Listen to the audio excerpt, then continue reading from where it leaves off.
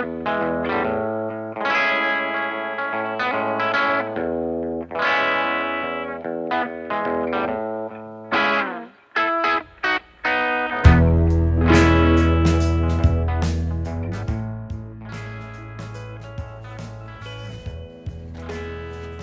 Surf Series started with this. Chris showed up to my campsite and he's like, you gotta try this. I'm like, really? I don't wanna try this. And I actually um, was like, gave it to Forrest Shearer. I'm like, Forrest, Chris says we're supposed to surf this thing.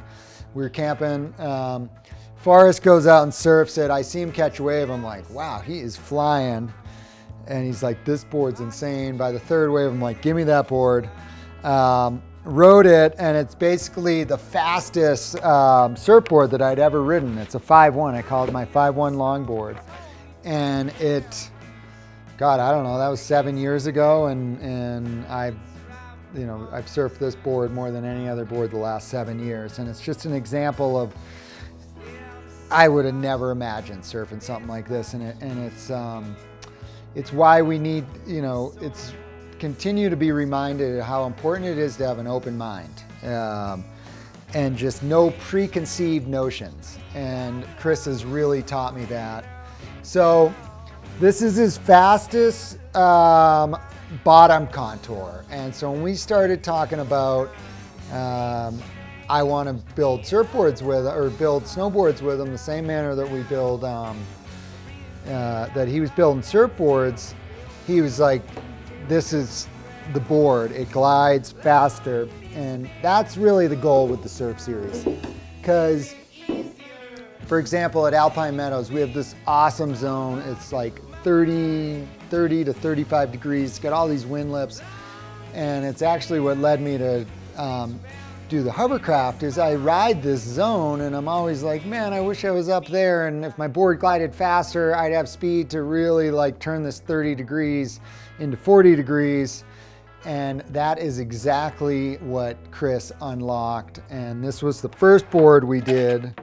Um, and this is a 138 and it is so fast. Um, and I just couldn't, I really felt how there was no drag up here. Um, and in surfing, if you have drag, you don't catch the wave or you fall off the wave.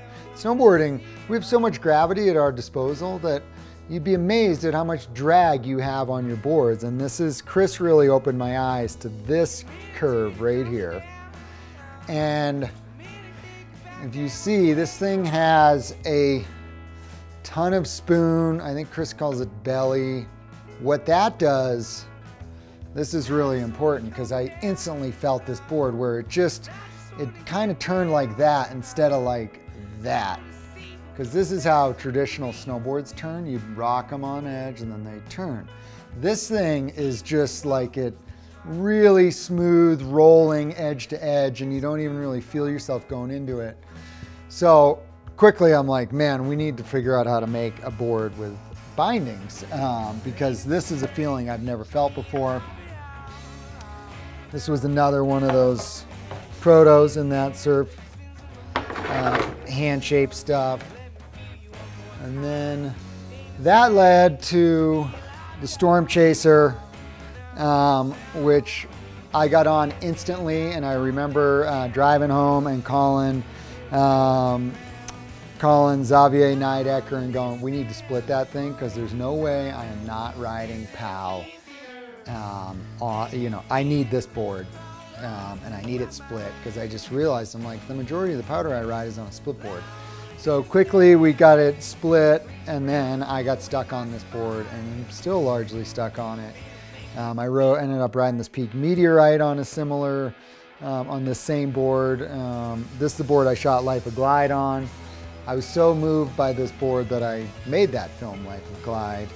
And what's funny is, if you had told me, go back to preconceived notions that at, um, you know, my go-to powder board on the best day of the year would be 147 centimeters long and 28 centimeters wide, I probably would have bet my car on that. Um, but that's exactly what this board is. And if it's POW, I'm on it. Um, and just another example of, you know, super open mind and let just let it go where it's going to go. And I think that another key is when Chris and I design these boards, um, we don't we don't measure them. We, it's all off of eyeball. So I remember sending over the blanks um, to get them measured and the call came back. They're like, "You just made a 147, 28 centimeters wide." And I'm like, "I don't. It felt right. It looked right. Just let's try it."